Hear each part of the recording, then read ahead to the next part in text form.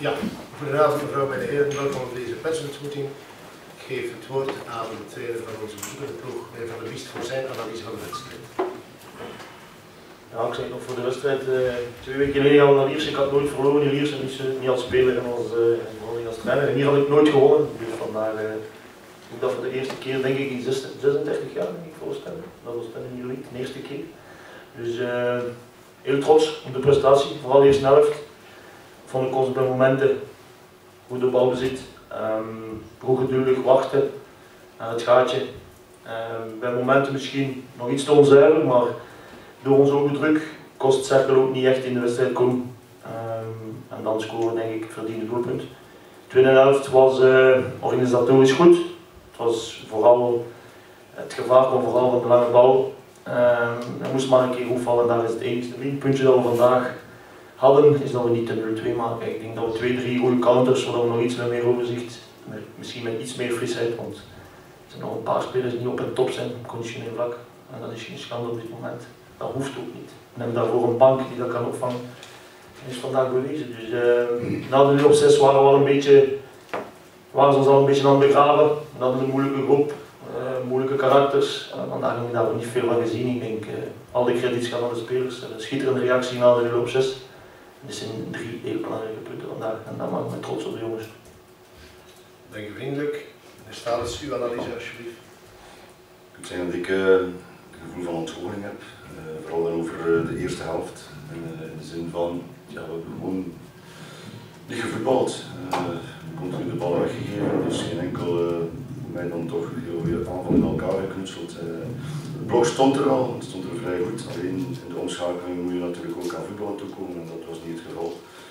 En dat was de voorbijgaande wedstrijd wel een sterk punt, vond ik. Dus dat is vanavond niet gebleken. de rust hebben we als toen, toen nog 0 achter uh, op een counter gepakt.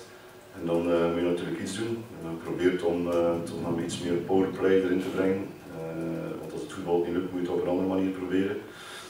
Dat is ja, beter gegaan, maar ook niet, niet voldoende goed genoeg om aanspraak te kunnen maken op een punt of op de drie punten. Dus vandaar dat de overwinning van de Stijn verdiend is. En ik weet niet waar het ligt. kan het zijn dat de druk om die eerste drie punten te pakken, dat zenuwachtig gedoe in de eerste helft, ik weet het niet. Ik heb er vragen naar en de spelers weten het ook niet. Dus ja, het kan ook in het onderbewuste zijn dat je, dat je druk voelt. De vorige wedstrijd hadden we niets te verliezen, thuis tegen Gent op Genk. En nu vandaag hadden we graag die drie punten thuis gehouden, maar het heeft er niet in gezeten en geen enkel niet in gezeten zelfs. Dus vandaar nogmaals proficiat aan Oostende. Dank u. Zie met een vraag.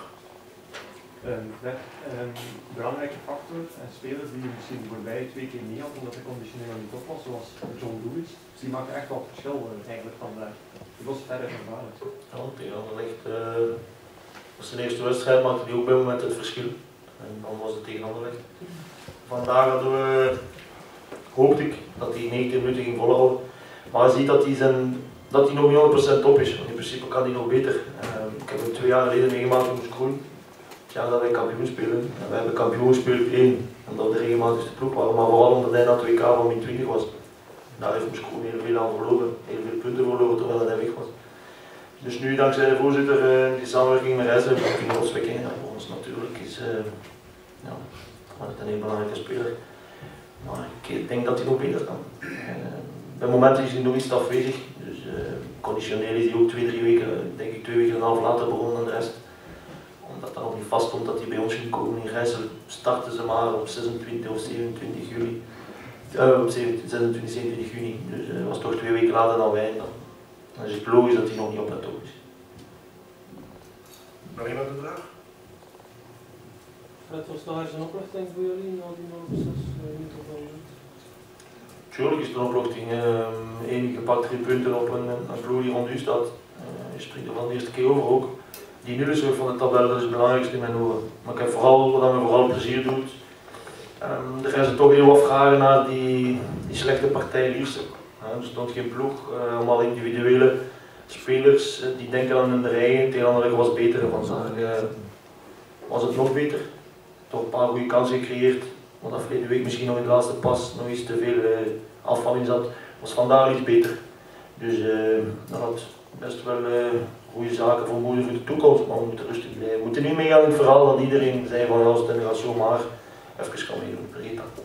Als we ons, ons DNA niet verloren of niet overboord gooien, het DNA van Oostende blijft altijd organisatie en werkkracht. En als je daarmee start, dan hebben we jongens iets verschil kunnen maken. Maar niet andersom, niet zoals in Lierse.